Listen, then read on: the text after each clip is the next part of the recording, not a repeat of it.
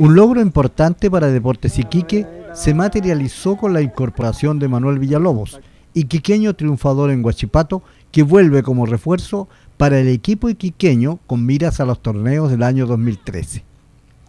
El presidente del club recordó que esta fue la tercera tentativa de traer al valor local a jugar en su tierra. En lo personal y la directiva está muy contenta eh, por todo lo que se realizó, las gestiones eh, que se hicieron por Manoro, la verdad que no fue tan difícil. Creo que cuando uno habla con un, con un, iquiqueño tiene un plus, una tremenda ventaja cuando habla con un jugador así. Las ganas de volver al, terruño son, son inmensas y eso se hace también mucho más fácil. Estamos cerca de jugar una Copa Libertadores y creo que Manuel va a ser un gran aporte también para, para este equipo del año 2013. Villalobos dijo conocer la exigencia de la hinchada en lo deportivo, comprometiendo el aporte de su experiencia como jugador. Feliz porque creo que este año se cumplieron muchos objetivos. Creo que primero con Guachipato salir campeón, después poder, poder firmar acá en, mi casa, en mi tierra, con mi gente, mi familia.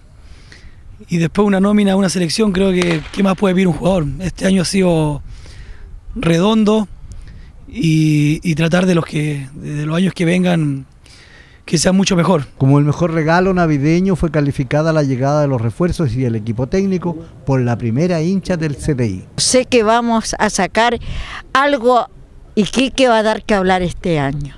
Mucho hay que dar.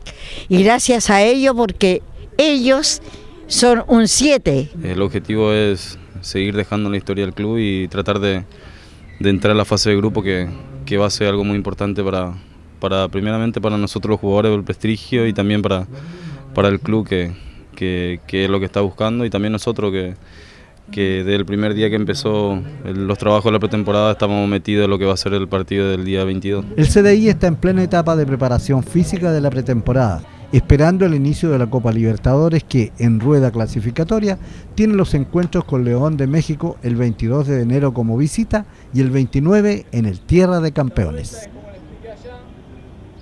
Llego, paso la línea.